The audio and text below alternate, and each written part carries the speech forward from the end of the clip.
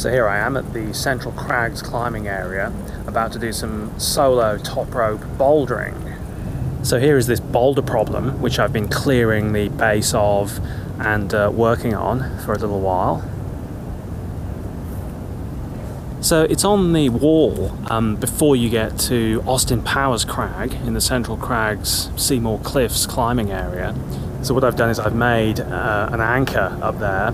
One of these strands I've got the ascender, this Micro Traxion device, and on the other um, I'm using a Grigri. So I'm going to try and ascent wearing my uh, Terrex Agravic trail running shoes.